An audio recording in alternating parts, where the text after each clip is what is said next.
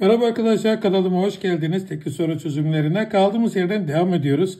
Atakan büyük bir sanda yatay sürtünmeli zeminde sabit hızla hareket ettirmektedir. Buna göre 1-2-3 ifadelerinden hangileri doğrudur?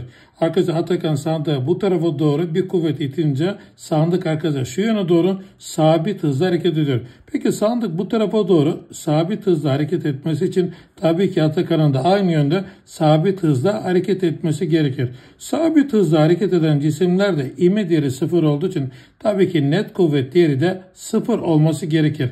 Arkadaşlar sandığın sabit hızla hareket etmesi için sandık üzerine uygulanan kuvvet net kuvveti sıfır ve Atakan'ın da arkadaşlar sabit hızla hareket etmesi için Atakan'a etkeden net kuvvetinde sıfır olması gerekir. Peki buna göre hangileri doğrudur? Biz birinci yargıdan başlayalım. Sandık dengelenmiş kuvvetin etkisinde hareket, et, hareket etmektedir. Arkadaşlar dengelenmiş kuvvetin etkisinde hareket eden cisimler ya durur veya sabit hızla gider. Sandığa etki eden net kuvvet sıfır olduğu için sabit hızlı hareket etmiştir. Dengelenmiş kuvvetin etkisindedir. Birinci ifademiz doğru. Arkadaşlar kuvvetleri bir gösterelim öncelikle. Arkadaşlar Atakan sandığa bu tarafa doğru arkadaşlar bir F kuvveti iter.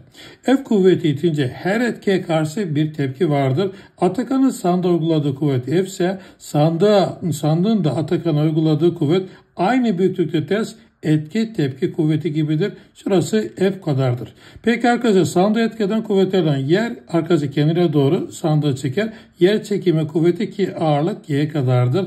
Yüzeyin de arkadaşlar yukarı doğru bir normal kuvveti vardır. Yukarı gidenler aşağı giden eşit n eşittir g kadardır.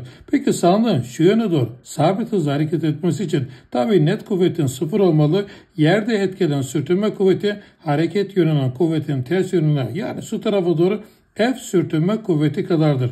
Arkadaşlar bu şekilde sandığı etkide net kuvvet değeri sıfır olur. Yani dengelemiş kuvvetin etkisinde olur.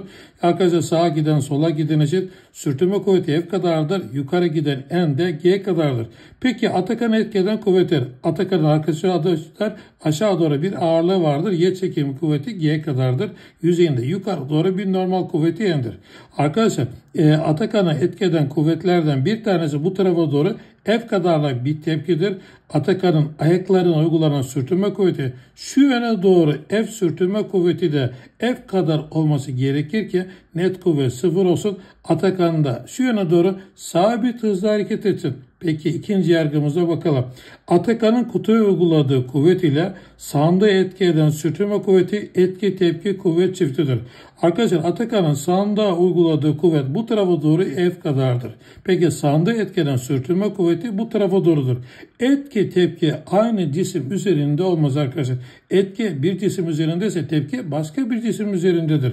Etki tepki bu kuvvetler değildir. İkinci ifade yanlış. Arkadaşlar Atakan'ın sandığa uyguladığı kuvvet etki ise sandığın Atakan'a uyguladığı kuvvet F kadar bir tepki olması gerekir. İkinci ifademiz yanlış. Ve 3. Sandığın Atakan'a uyguladığı tepki kuvvetiyle sandığın Atakan'a uyguladığı tepki kuvveti bu kadardır. Bu yönde doğrudur ve şiddeti F kadardır. Atakan'a uygulanan sürtünme kuvveti eşittir. Arkadaşlar Atakan'a uygulanan sürtünme kuvveti bu tarafa doğrudur. Arkadaşlar büyüklüğü eşittir ama yönleri terstir. Eğer sürtünme kuvveti büyüklükçe eşittir deseydi doğruydu. Üçüncü ifademiz yanlış. Cevap şıkkı yalnız bir A olur.